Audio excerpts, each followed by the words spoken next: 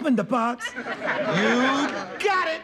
Okay. Now, feast your eyes on this.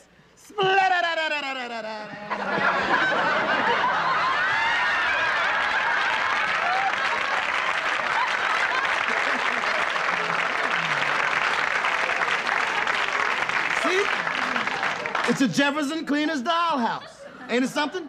It sure is. I'll say. It's even got miniature pressing machines, miniature hangers, miniature people, It's even got a miniature cash register. and working right behind it is a little me. The only thing that's life size.